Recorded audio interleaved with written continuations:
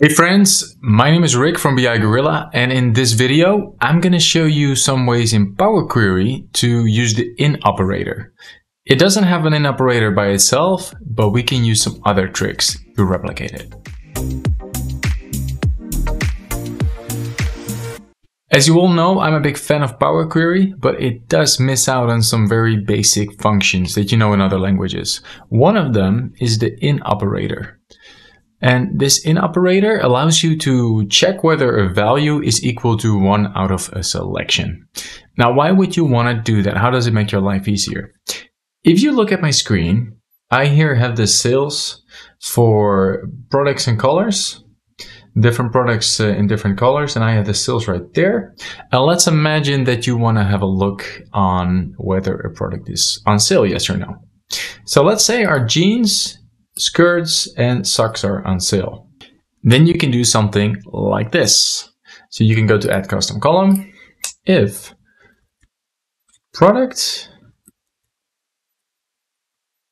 equals jeans or product equals, well, let's say skirts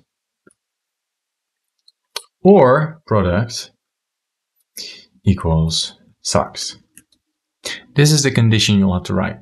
Then we could say we have a category called sale and else we have a category called um, regular. And we call this one category. Say okay, there you go. Now, as you have noticed, our if function here has a lot of repetition. So the, the column called product comes back multiple times. And then we have a result right there. Okay, so we now just have three items that we have in there, but imagine that you might have 10 or 20 or even 30. Then this is not very convenient, and the in operator allows you to bundle things.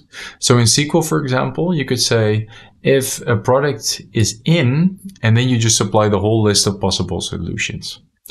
Now, Power Query doesn't have this, but I'm going to show you different ways in which you can replicate this.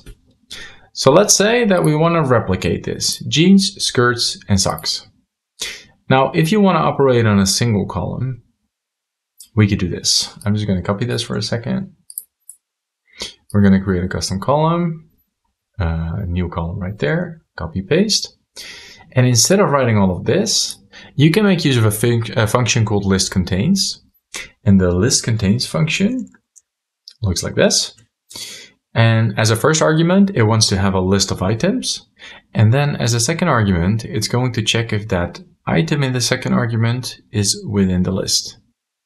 So what we of course can do then is say, okay, we're looking for a list of items. We open a curly bracket. We're looking for jeans, comma. We're looking for skirts. We're looking for socks. And if it's one of these items, well, we close our list now, then I want to check if it's in our product column. So the product here is the product column down there. And this is the list of items you want to check against. So if this list contains our product, like skirts, then if it's in there, uh, return sale, otherwise return regular. Good enough. Now, we get exactly the same result as the previous page. It's just a little bit easier, and this allows you to easily expand it later as well without making, without bloating your code. Let's say it like that. Another big benefit of this is instead of putting this right there, we can also reference other items. So let's, for example, say we have these items, jeans, skirts, and socks. We could also have a separate table that has like products, and we have jeans, socks, and skirts without a capital. So these are products to check. So this creates our separate table here. And if I drill down here, then this already is a list called products to check. Now, because we have this uh, list contains function, I can now easily say, I want to replace this part and just reference the products to check right there. And if I click OK, the result will still be the same. So a benefit of list contains here is that you can reference another list.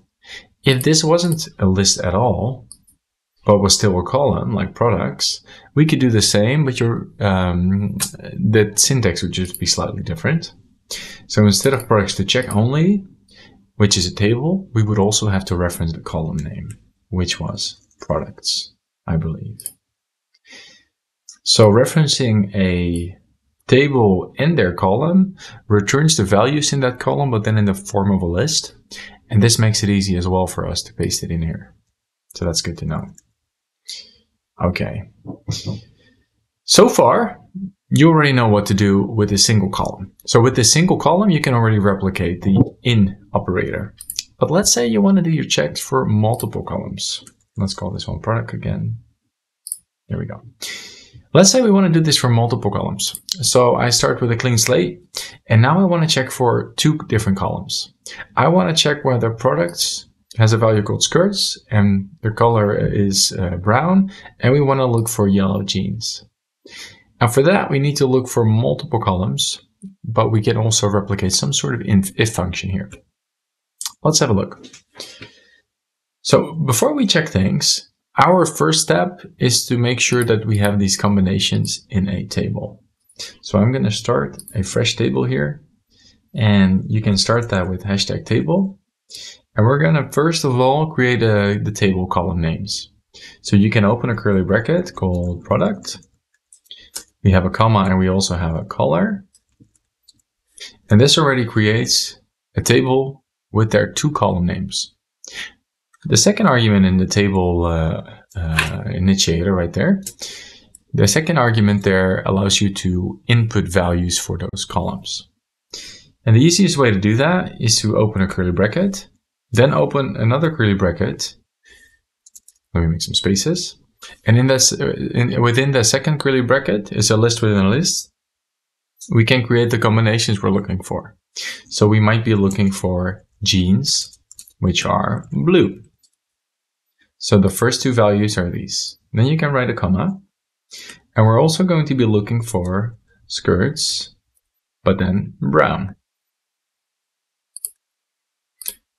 So we now have a table with two columns and within those columns, you find these combinations. This is the table you have. Okay. Uh, our products, products and color. I'll call it like this, product and color. Okay. Now, our next step is to filter our table for this. So I can make another check here and say change type. And now I can filter this table to filter these both values from our previous item here. And a trick to do that is I can create a separate column and I'm going to check something with if table contains this one here. And now what we want to do is we want to check if the table that we just generated, if within that table somewhere we find the combination of values we're looking for. So I'm going to look in the product and color table, which was the previous step. And then I'm going to look for the values of our current column called product. And we write a comma and the next column called color. Close. Well, if it contains it, then we say sil, else, regular, and we call the column category.